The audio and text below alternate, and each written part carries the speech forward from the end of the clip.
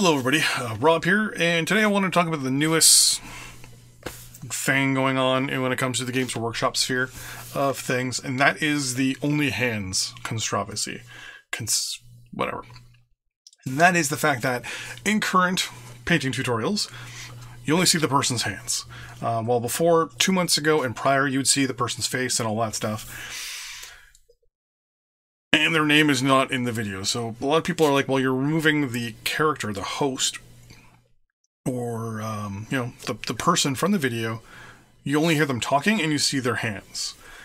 Here's the thing.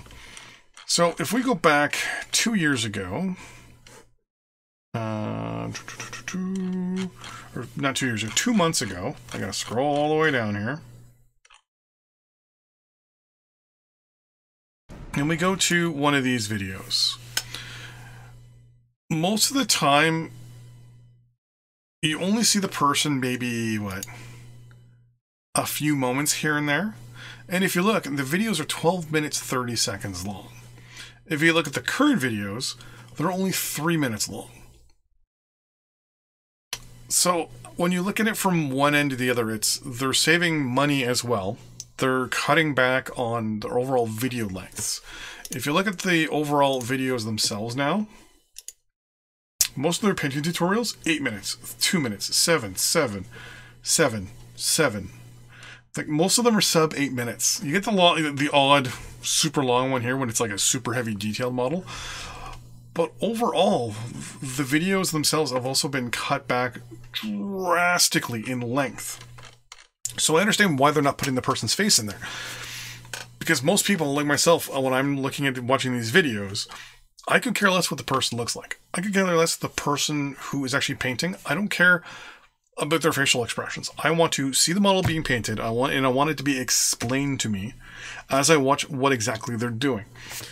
And I want it concise and I want it quickly so I can look at it and go to the next thing so I can look at the next version to see what I can do I could care less about the person. Now, the person's name not on the video is a little different, right? I should, in my opinion, it should say, you know, hosted by Jane Doe, John Doe, whatever. So at least I know personally who the person is that I'm talking to. But I understand why they're taking the turn they're taking. One, they're cutting the videos down by 50 to 60% in most cases in length which makes sense if they're complaining about the fact that overhead is getting too expensive, so you're paying more for models, so they're cutting back on the video lengths. Cool, fine, I understand that. But the other reason why they're doing it is I believe it's this gentleman's reason, Mr. Duncan Rhodes himself. Um, some people look at him and go, okay, cool, you know, his videos are amazing. His videos are awesome. It's cool. It's awesome, right? He's got tons and tons and tons of painting and He's been doing it for two years. Here's the thing about his channel. If you go back on, um, I think it's um, I think it's YouTube Time Machine, he had almost forty thousand subscribers to his YouTube channel before he even uploaded his first few pictures. There's first few videos. It's very interesting about that. If you look back on it, number two, he is now technically a competitor to a point to Games Workshop in regards to the fact that he's selling his own paints. The paints, by the way, that on stage one made $1.1 million in goals. This isn't counting people that have bought the paints outside of the Kickstarter. The Kickstarter raised $1.1 million. Now, is that a drop in the bucket for versus Games Workshop? Yes. But what this shows is that he built up his name, his brand, and now his future,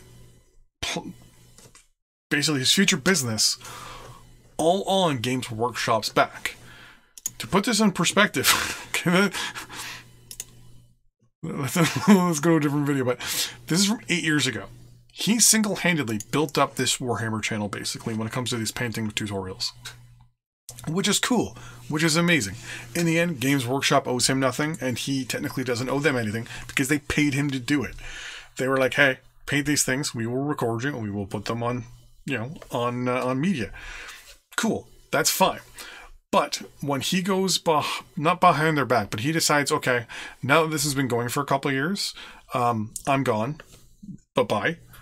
I'm going to go do my own thing, and then becomes basically a competitor, you can understand how Games Workshop will look at that and go, okay, well, hold on. We just invested eight to 10 years into this guy. He immediately left and became a competitor to us. To put that in perspective to anybody, think about something you really like to do. Say that was your business. For me, YouTubing. I hire an editor the editor's editing my videos, figuring a lot of stuff about my videos, getting my my videos to look amazing. Then decides, you know what? I can do this YouTube thing on my own. Sends me an email. I quit. Creates a YouTube channel, pretty much doing the exact same thing I'm doing, but then becomes way well, doesn't become popular, but becomes successful. Not as successful as me, but at the same time is playing on that. Hey, I used to do this I used to do this. I used to record, I used to do his videos. Cool. Even though he doesn't say, I I used to paint Warhammer stuff. That's what he is known for. He is known for doing Games Workshop minis. Now he's branching out, making his own paints and all that stuff. But Games Workshop probably looks at this and went, well, shit. We invested all this time into him, and now he's our competitor. We don't have many competitors in this field. This sucks. Well, let's see who our next host is going to be for this. Oh, he's leaving too. Now that he's built up a name recognition as well. So that guy left. I can't remember his name right now. It was like John or Paul or something like that. But then he leaves. So obviously, Games Workshop is going to look at this and go, wait, wait, wait. So people are going to be are doing stuff on our videos on our channels. They're getting recognition for it. Then they're spinning it off into their own thing. Cool that they're being successful but they're also coming out with products that are now linked to their name, which is technically linked to us because we're the ones that made the person popular by paying the person to do that thing. And then, you know, we're basically not getting anything out of this other than the fact that we spent eight to 10 years grooming that person to be successful on their own, which is cool and all, but you can see where now Games Workshop is sitting there going, we don't want to do this again. We're basically grooming or we're basically training and paying our competitors. Over time, every time all our employee like these employees are going to become competitors. So to stop this from happening and to stop us from getting burned again, we're no longer putting their faces up and we're no longer putting their names up. To be honest with you, as a businessman, that makes sense. If I have an employee that leaves my business to create a competitive business, would I be mad? Yes. If it happens another time after that, meaning it's happened twice, then I look at that and go, okay, I'm obviously doing successfully enough and getting enough popularity that these people are now piggybacking off of that popularity to create their own thing. Therefore, I don't want this to happen because basically you're creating your own comp- competition through yourself and you, you don't want that as a business. And i'm 99.9% sure that's exactly what's happened. Dude has raised almost $2 million for paint. So he has obviously one and two. I think two has almost 800 yeah 800 uh, as a goal. Um, i think it actually is already over if i'm not mistaken. Um, Yeah, it was, it was finished a couple days ago. They you know, they got he got 800 grand in the in the second wave of uh, coats or uh, his paints, two thin coats, and then 1.1 million. Like that's that's he he's raised almost two million dollars for his paints, not including people that have actually bought it from stores that carry it and things like that. So he's become extremely successful on the back of that company. The other gentleman that left that I can't think of his name right now he is also building a, a, you know his own thing off of the back of the of uh, Games Workshop shop as well.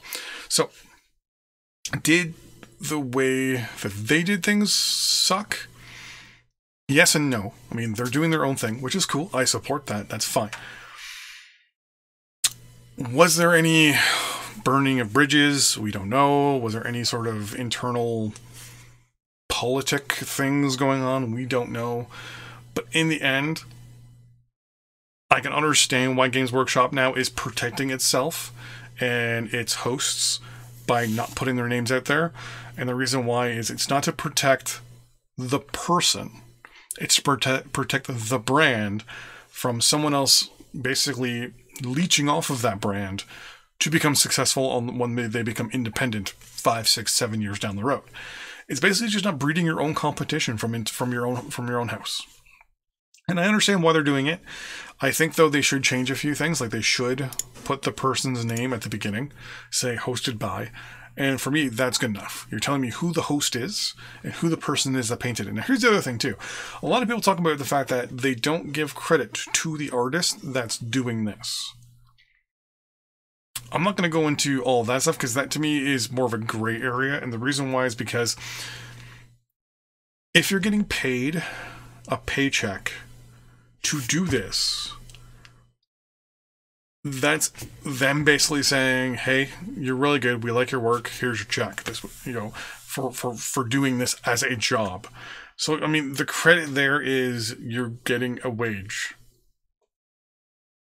it's like okay so next time you go to mcdonald's are you going to give the fry cook the credit that they deserve the burger person the, the, the credit they deserve um, because they're just getting paid to put something together. Kind of the same thing here. The question needs to be asked are these people even artists? Um, and that's way above me to even ask that question. But in the end in my opinion when it comes down to this whole only hands thing I don't think it's a big deal. Um, I understand why they're doing it. It's they're protecting their brand. They don't want to have more people leech off the brand name and then become super successful, a la Duncan Rhodes. Um, I mean, that's how I found him first uh, as well. I'm not gonna lie. I'm subscribed to his YouTube channel because I saw him on the Warhammer channel, and then I'm like, oh, he has his own channel too. Cool.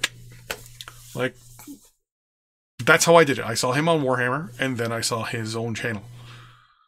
And unfortunately, if you're doing the same thing on both channels, it's kind of. Hmm, I understand why he did it, where he's branching off on his own. But at the same time, it's like. When people are subscribing to your YouTube channel before you even have videos up, that kind of tells me that's kind of sneaky.